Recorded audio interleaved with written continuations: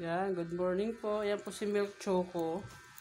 Ayan, ang sarap ng ano niya. Yan po ay nakuha ni Macy sa labas. Wala namang naghahanap kaya kinuha. Nalagay ko na pastor. Tingnan niya po, natutulog siya oh. Para sumukbang natin ng maliit pa. Hi, Milk Choco. Pinangalanan po yan ni ano, ni Sterling ng Milk Choco daw. Hello, Choco Choco. Hi. Bait po yung pusa na yan. Choco Choco, Choco, Choco. Ay, nagigabaglaro Choco Choco, Choco. Choco Choco. Ano, ang ganda ng ano mo dyan, ah, hilata ah. Ayos ka ah. Ang ganda ng hilata mo ah. Choco Choco, Choco. Ah, Choco Choco, Choco Choco, Choco. Turog na.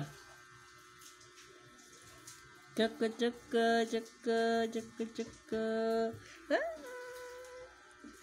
Ah, Choco Choco Choco.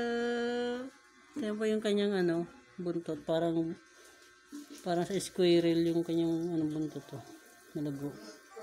Squirrel! Choco squirrel. Buntot niya. Babae po yan, babae.